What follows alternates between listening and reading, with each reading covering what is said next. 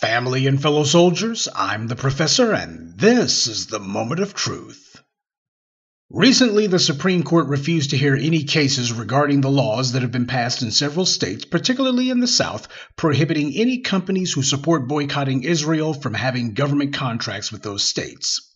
Now, the law in particular that they refused to hear was from Arkansas, and that law required anyone wanting to do business with that state to first have to sign a pledge saying that they will never boycott Israel. And if you refuse to do so, then the state requires that you get paid 20% less for a contract. It's essentially a protest Israel tax. Now, originally, those laws prohibited people from being able to do business with the state, but the Republicans eventually figured out that they violated the First Amendment with that one, so they instead changed the law, and the ACLU has gone to bat to try to get it struck down. And while the initial appeals did block this patently unconstitutional law, we see that the higher federal courts are doing their job now, which is rubber stamping whatever policy white power wants. Laws be damned. It just seems so random, doesn't it? Why is it that there are a number of states that are saying that there's one country in particular that they don't want anyone boycotting or even saying that they should boycott? And by the way, will someone ask Ben Shapiro and other self proclaimed free speech advocates why none of them dares to speak out on this?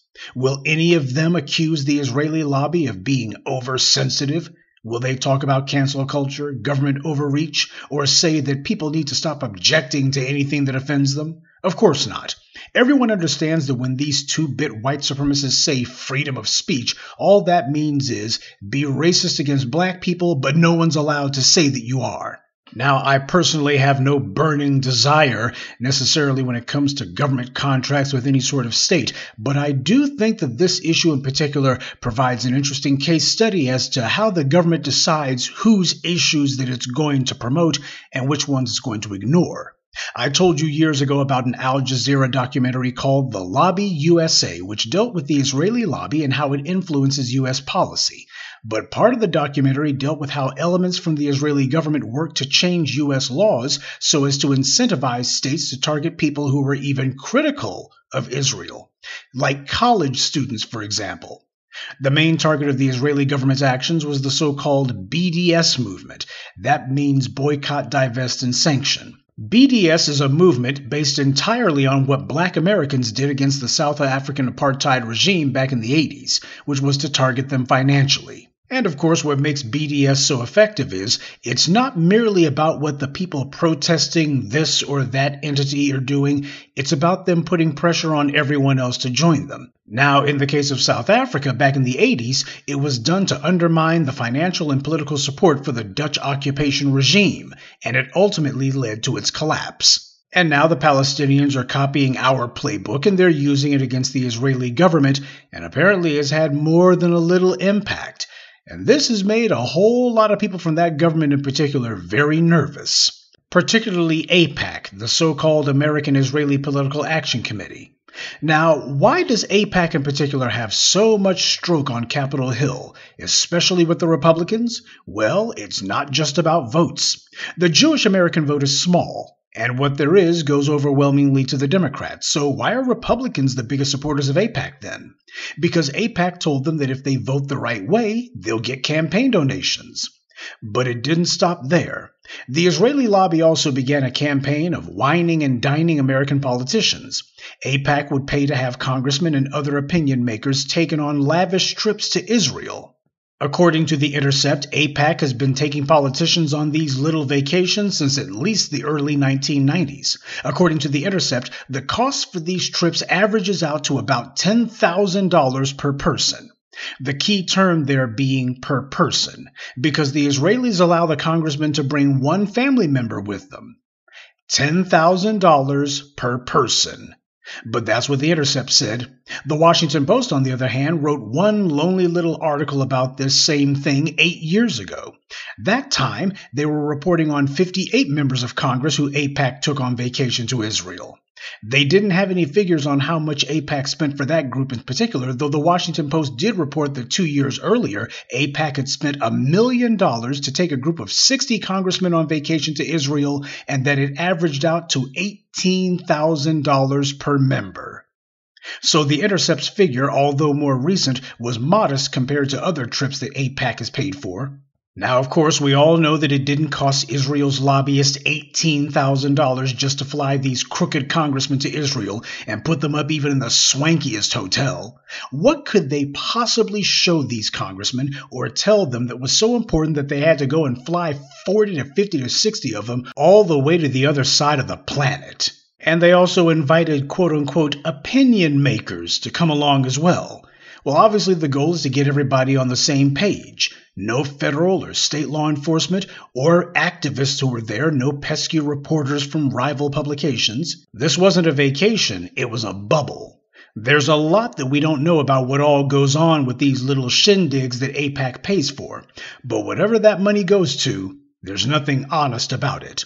Now, exactly a year ago was when the latest AIPAC funded vacation took place. You heard nothing about it in the white American media, though the Israeli media talked about it. This time, over 40 members of Congress went to Israel, presumably with their family members.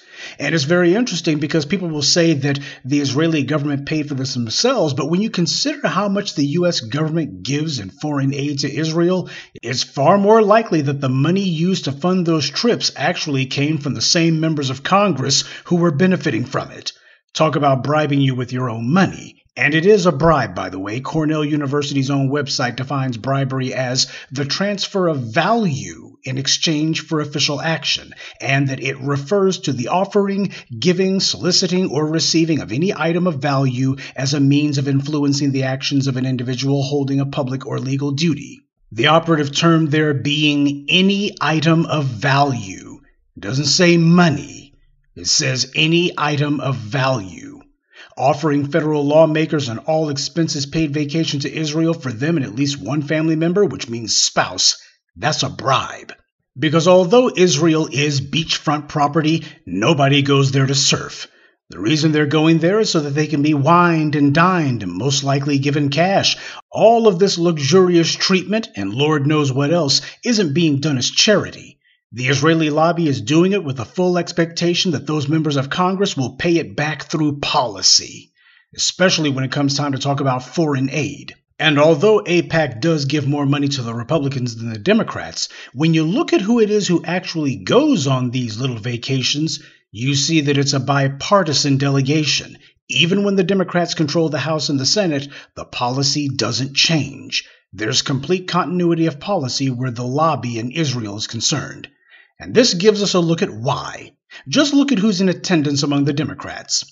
Failed Democratic Party leader Debbie Wasserman Schultz. But way over on the left, we see Richie Torres. He's the guy in the dark suit with the purple tie. Torres, you might recall, was lauded as the first gay Afro Latino to get into Congress when he won office in 2020. I don't know how many trips he's made to do anything for black people back in New York, but he's got plenty of time to go to the other side of the world for a vacation paid for by foreign lobbyists. And who is that other slimy politician furthest to the left who's just cheesing to beat the band? Why, it's Hakeem Jeffries. This was last year, mind you, several months before Nancy Pelosi announced that she was going to be retiring, but it just goes to show that this guy was already being groomed and making his bones and pledging to get tangibles for everyone except us. And not for nothing, but he is now Minority Leader Hakeem Jeffries. So if and when the Democrats manage to get back control of the House of Representatives, Hakeem Jeffries is going to be the one leading them. He's going to be Speaker of the House. And apparently he's going to be the guy who's leading the Democrats into the future, though he himself appears to be led around by the nose. By the way, did you know that Minority Leader Hakeem Jeffries is also the nephew of Dr. Leonard Jeffries? Yes, that Leonard Jeffries, one of the leading advocates and academics of Pan Africanism. Well, the apple sure fell far from the tree on that one, didn't it? I can't recall Dr. Jeffries taking his nephew to task, but if he did, it sure wasn't very effective. Black people put Hakeem Jeffries into office, same way that they put Richie Torres in office. But how much money have these two secured for black people? How many times have they made group appearances for black people? See, this is why your congressional black talkers don't do anything for black folks. As they see it, they're plugged into a political machine, and it gives them all kinds of perks and benefits and goodies that have nothing to do with being black. Their job is not to produce for their constituents, their job is to produce for themselves and don't rock the boat. As they see it, they've transcended being black, they've escaped their skin color. So, on the few occasions when they actually lower themselves to talk about black people, they always do it with the same amount of condescension and the same amount of distance as the average white liberal. So the Israelis have plied the members of Congress with luxurious getaways for them and their spouses, but do you think that any of black people's interests come up during these get togethers? See, whenever black people discuss things, we always include everyone else. We include immigrants, the LGBT community, feminists, everyone. Yet when other groups have meetings, they don't mention us at all. Well, actually, that's not entirely accurate. There are groups who do mention us when they have their private get togethers, but in many cases, it's not to say anything good. Israel's diplomats may be trying to challenge the apartheid label by canvassing support amongst African Americans. The major problem of Israel is with the young generation of the black community. Black Lives Matter starts there.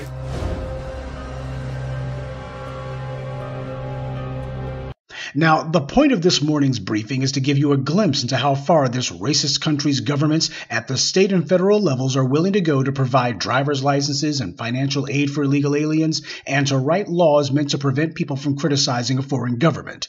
They'll bend over backwards to do things for people who aren't even citizens, to do things for foreign countries, but they'll tie themselves in knots to not do anything for black folks right here at home.